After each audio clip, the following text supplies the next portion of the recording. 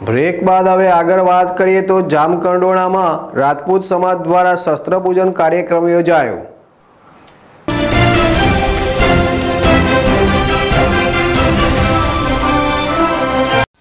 જામકંડોળામાં આજે વિજયાદશમીના દિવસે જામકંડોળામાં તાલુકા રાજપૂત સમાજ દ્વારા રાજપૂત સમાજમાં શસ્ત્ર પૂજનનો કાર્યક્રમ યોજાયો હતો, જેમાં મોટી સંખ્યામાં તાલુકાભરના રાજપૂત સમાજના ભાઈઓ હાજરી આપી હતી.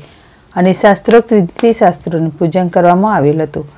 આ તકે જામકંડોળના તાલુકા રાજપૂત સમાજના પ્રમુખ તેજુભા જાડેજા સહિતના હોદ્દેદારો તેમજ મોટી સંખ્યામાં સમાજના લોકો ઉપસ્થિત રહ્યા હતા અને શસ્ત્રોનું પૂજન કર્યું હતું.